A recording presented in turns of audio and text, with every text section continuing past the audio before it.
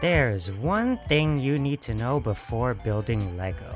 In fact, don't build anything until you know this fact. And it's that one brick is equal to three plates on top of each other. And one 2x2 sidewards brick is equal to five plates on top of each other.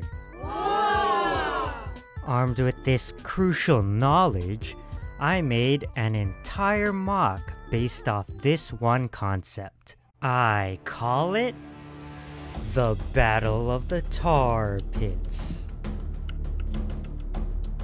But how did I use that fact to make this? Well, let's get into it. Like and subscribe if you want to see more. As I'm making my dinosaur MOC series, I was reminded of the La Brea tar pits.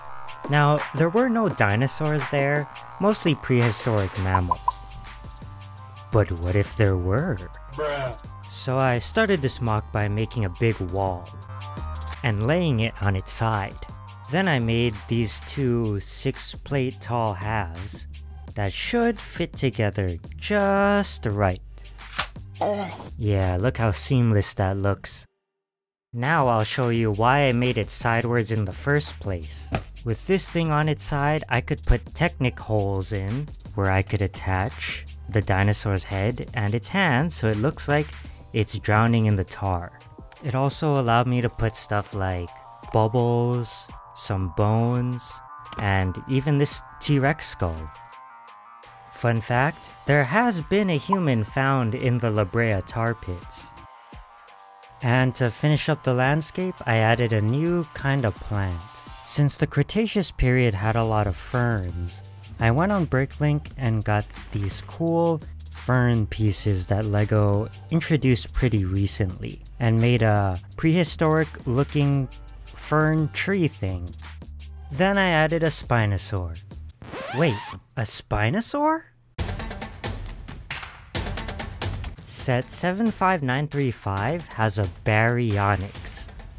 And since Baryonyx is a Spinosaur, I thought that if I got it and then added the spine from the old uh, early 2000s Spinosaur set, I can get an updated Spinosaurus. And fighting it, of course, would be the Anti-Dino Guard.